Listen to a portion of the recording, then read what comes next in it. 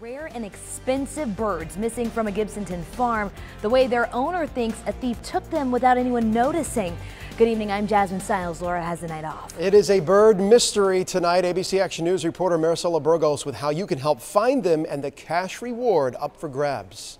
Rodney Hopp keeps his parrots locked in a cage behind this door at night. So when he arrived on his farm the next morning and saw this door slightly open, he knew they were gone. I love the darn birds and I like them and I would like to have them back. Two parrots have been missing from Rodney Hopp's barn for 12 days now. These happen to be red scarlet macaws and they were big and they're a breeding pair, a male and a female. They have distinct features. The one had a little uh, mark on its beak. And they certainly know their owner. My name is Rod, and I would go to the birds, Rod, Rod.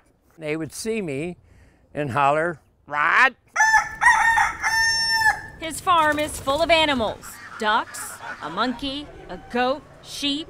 But the thief went straight for the expensive parrots. If you look on uh, Craigslist, they run from like 800 to 1200 to $1,500 each. Rodney has his suspicions of how the crook got in the cage. When I got here, it was that door like that, this like this. So they must have put the birds in a cage or something through that door.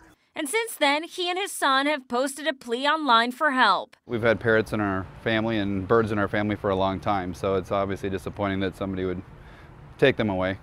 So far, they haven't gotten any leads. I only want my birds. I don't care if the guy gets charged or whatever. I would like to have the birds back. Rodney is offering a small reward to get his parrots back. Hillsborough County deputies are investigating the burglary. Reporting from Gibsonton, Maricela Burgos, ABC Action News.